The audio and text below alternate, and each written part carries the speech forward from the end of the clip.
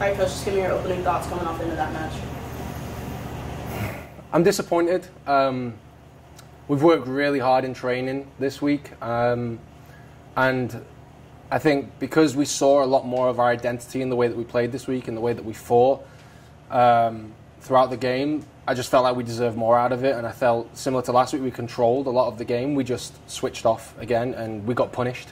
And sometimes those lessons are the hard ones to to, to learn, but. Um, yeah, it's difficult to kind of digest because you know going up one 0 which was really great, got the crowd going. Um, Elo had a had a great goal, um, and then we maintained it for a, for a, for a long period. We were the better team, I think, for that first 30, 35 minutes, and then the last ten we just we just switched off and. Um, so and then to lose the game overall, you know, it's disappointing. I know the girls are down and, and we're down too, but you know, there are a lot of positives, and I think you know we introduced a couple more players today, which I think really helped us, and we saw players step up into into their roles and take responsibility, and I think that was really good. But big positive for me was seeing much more of our identity of how we play and the style that we play and the system that we play, and I think it worked a lot, and that's what's really encouraging to take from from the game today, even though that we did lose. Of course, talk to me about that first goal. Eleonora Franco getting her first goal in a CFC jersey. What did that mean to you, and how did uh, offensively, how did the team play today? better. So with our front three, we've we've I asked them this week like we want them to play narrower. Um, that way, it allows us to combine a bit better in the central areas of the field, and then allow those outlets um, in the wide areas for our fullbacks and midfielders to go into. Um, and I spoke to Ella before the game, and I was like, I feel like it's your game today. I feel like you can you can you can deliver something for us. And said just when you get the opportunity, take the shot. Like I don't care if it's on your weaker foot. I don't care if, if you try it on your weaker foot and it goes over. Like just have a go. If the opportunity's there, do it because I believe you can deliver. And she did, and she hit the first one. It got deflected, and she didn't give up, which is a huge, you know, it's a great thing for the for the mindset. You know that she was able to to respond really well and get the rebound and smash it into the top corner, which was a great finish, and the crowd loved it. So that was really really positive, and it's good that she got off got off the mark in, in terms of goals, and hopefully she'll get more moving forward. Uh, speaking defensively, Lily Kate in the back in goal, she had a good game. She had a lot of saves. Uh, tell Yep. me about her performance and just the performance of, you know, the back line, the Department of Defense, if you will. Yeah, yeah, yeah. No, um, being a goalkeeper myself, I know what those games are like in goal. She was busy. She did the simple things right. She made some big saves in big moments. Like goalkeeping, um, you know, a lot of the time you're not doing much. You're you're, you're kind of constant. You know, you, you're concentrating and you're moving and you're communicating, and a lot of it, you know, you're just you're just sort of watching, and you've got to stay focused. And so when you're called upon, you've got to be able to deliver. And Lily did that tonight, and she played out from the back really well. She's very confident with her feet. She caught the high balls really, really positively and strongly, and that was really good to see. And then in terms of the back line, you know, Abby Abby joined us last week and was introduced today, and she just was stellar and very, very professional. And even though um, there was a little mix up for the goal, that doesn't doesn't matter to me because um, I think she she responded really well, and I think there was way more to her game than that one little slip up. And um, you know, it happens to everybody, and it's just about how we respond. And she responded really well, but. Um, I think the back line did well. Anna did good. Um, Billy and Opie did very, very well. And then Bailey Dull came in and, and really put in a shift. So um, it's really positive for us to see that there's a lot of depth in all the areas of the field.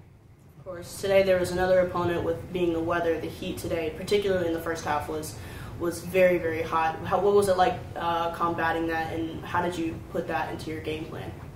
So it's really what I asked of the girls was like, hey, if you're feeling it, like you got to let us know because we've got reinforcements that can come on. But for me personally, even though it's hot, I never like to use it as an- as an excuse because the other team are battling in the same heat. So we never try to talk about it too much. All we say is like, if you're struggling, let us know because we can get other people in. I don't want you to be a hero. Don't try and push through because we need to keep that level of intensity and, and, and pressure throughout prolonged periods of the game. So if you're struggling, let us know because we can get other people in. So um, it's just about dealing with it and just pushing through and persevering, like we tell the girls all the time and everything, and not using it as an excuse uh, because, like I said, we're not the only team playing in it.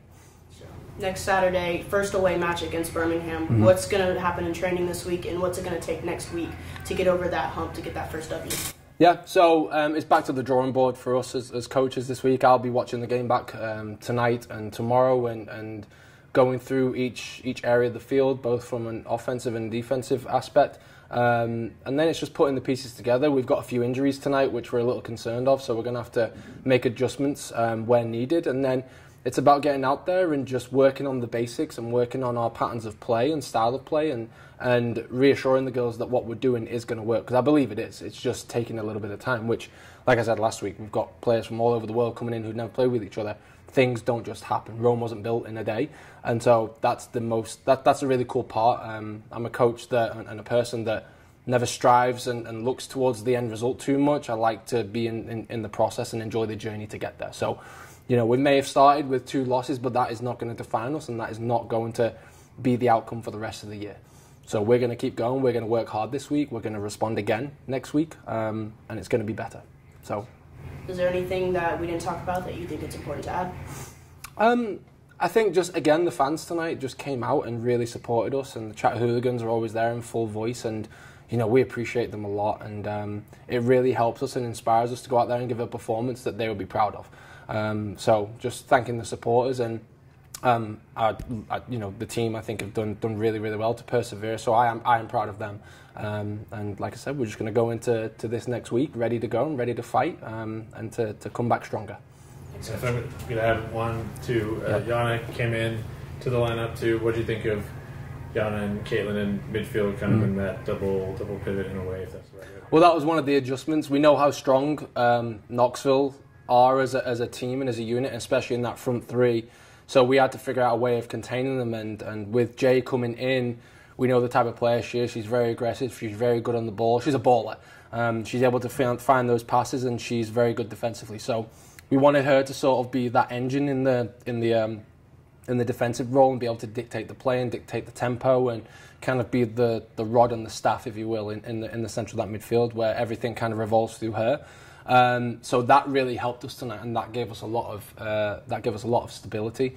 So we're looking forward to utilising Jay a lot more. And what's great about her, she's versatile, so she can play in the back as well. So if we are struggling, you know, we could maybe push her back and add more more players into that into that um, defensive midfield role. But um, again, midfielders we're, we're looking good, and there's a lot of areas that we can put different players in. So it's good. It'll just take a bit of time.